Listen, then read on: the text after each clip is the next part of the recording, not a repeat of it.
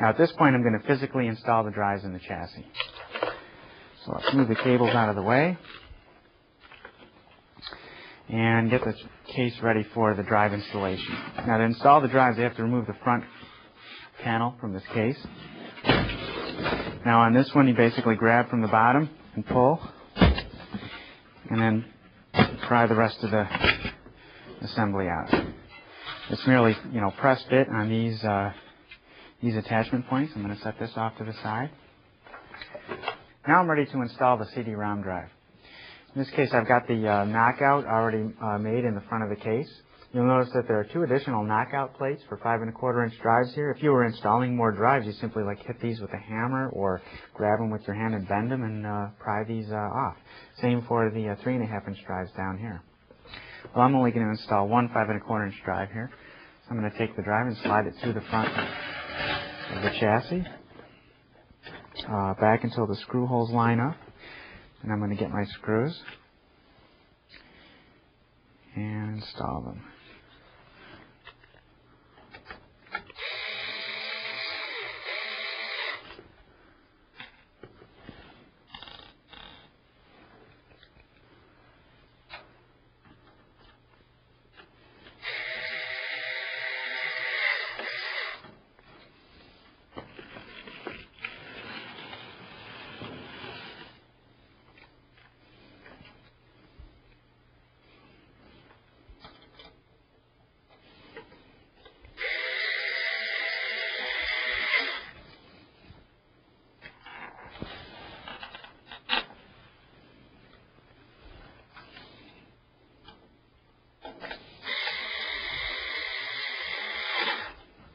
Okay, now the CD-ROM drive is installed. Next I'm going to install the floppy drive.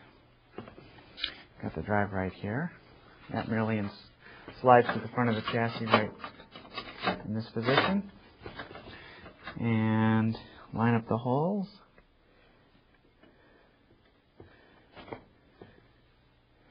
And then install the screws, same as the CD-ROM drive.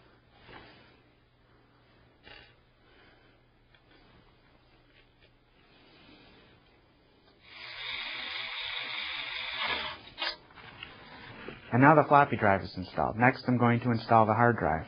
Got the hard drive right here. Now this will install from the inside as opposed to the way the other drives worked. I'm going to slide it along the bottom here until I can get the screw holes to line up. And now I'll install the screws.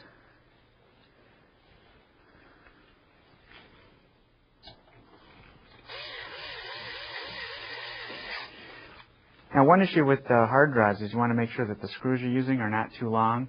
If you use a screw that's too long and it runs into the side of the, the frame, past the frame and hits the actual head disk assembly, you can, you can damage the drive.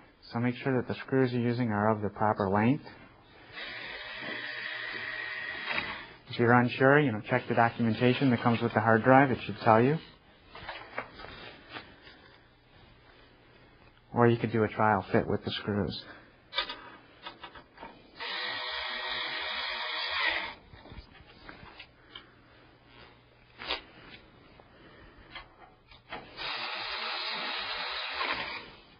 Okay, now the hard drive is installed, and at this point we can cable all of the drives.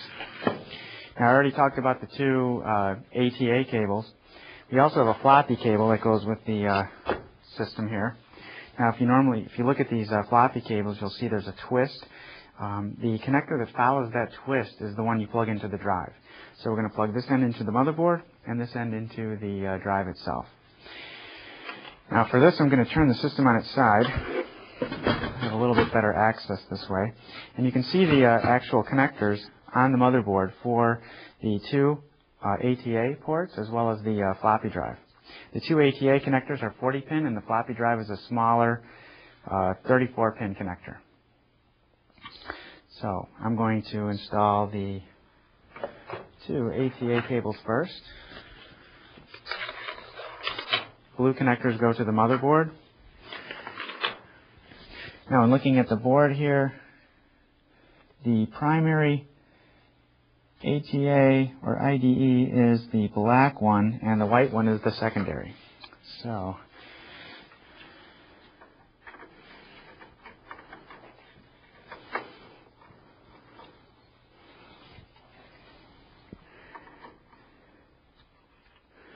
you want to observe the pin 1 orientation.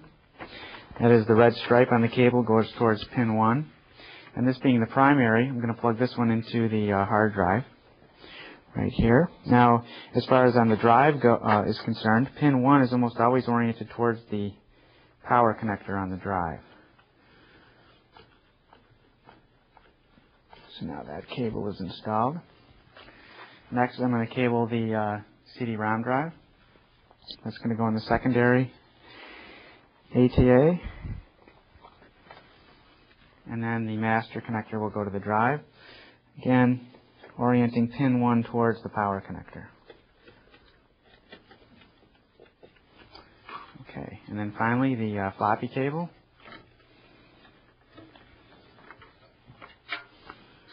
The last connector here.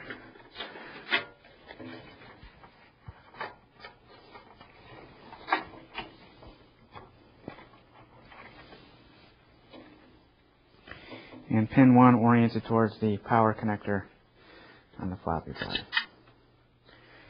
Okay. At that point, we have our drives uh, cabled. Now, in some cases, you might want to take these cables and kind of bundle them up or route them so that they don't interfere with any uh, airflow in the system. Um, if you're using the proper, you know, 18-inch cables, usually they're not going to be very long and you're not going to have a lot of extra cabling in the system to worry about. So at that point, um, we can now install the power supply.